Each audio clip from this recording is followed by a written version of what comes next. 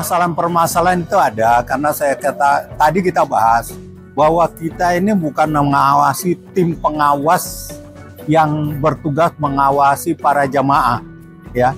Tapi para jamaah ini yang betul-betul melaksanakan tugas-tugasnya untuk melaksanakan tugas di lapangan contoh jamaah yang hilang atau tersesat kan kita udah tahu di mana titik-titik kejadian tersesat karena ini sudah berjalan panjang seharusnya sudah bisa dipetakan Artinya di situlah ditaruh para pengawas.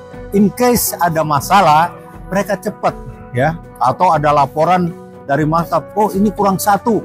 Oh tahu dari mana? Mereka langsung datangi ya, titik patroli itu. Akhirnya insya Allah uh, ditemukan. Termasuk mungkin pernah kemarin kita mendengar ada aplikasi yang bisa monitor uh, jemaah berada di mana ya. Kembali lagi manajemen yang harus kita cek prinsip dari pengawasan ini bagaimana pada puncak penyelenggaraan haji ini berjalan lancar, aman, dan tertib.